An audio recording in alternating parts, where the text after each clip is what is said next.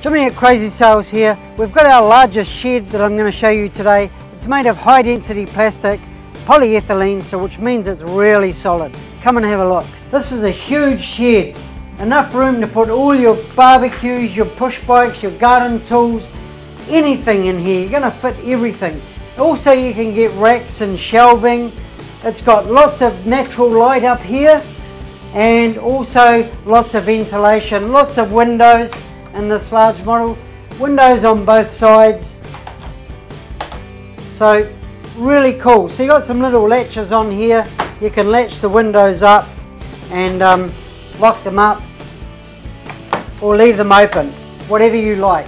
Again, lots of natural light, well ventilated, good solid floor here. This is also made of polyethylene high density plastic, which again means it's really solid. We have the metal frames, which adds to the support of the walls.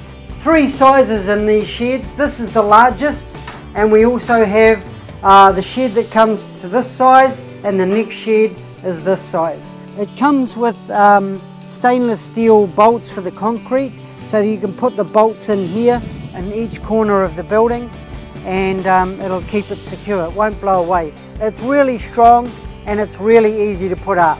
So that's Jimmy at Crazy Sales. Come and grab your plastic shed today.